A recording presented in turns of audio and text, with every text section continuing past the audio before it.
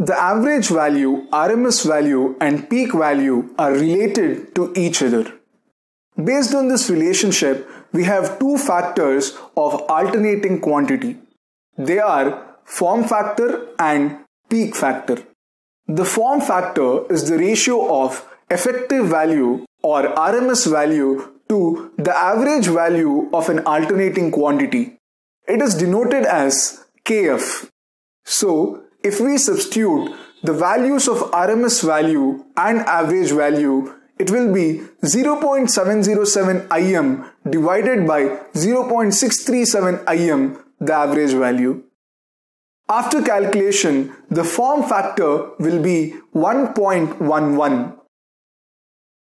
It's true even in the case of alternating voltage that will be 0.707 EM by 0.637 EM which is again 1.11. So for a sinusoidal voltage or current the form factor will be 1.11.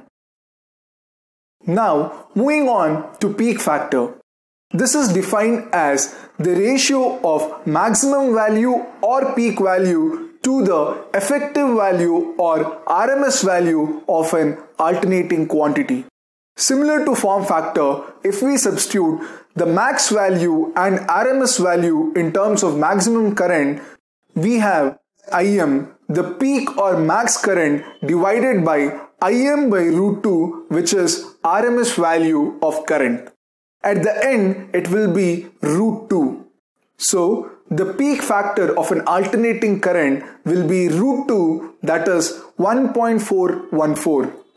Even in the case of alternating voltage, it is max or peak voltage divided by EM by root 2 that is 1.414.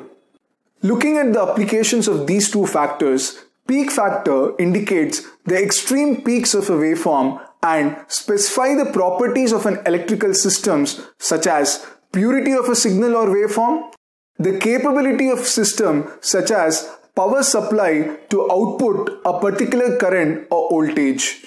Form factor prescribes the size, shape and other physical specifications of components particularly in consumer electronics and electronic packaging.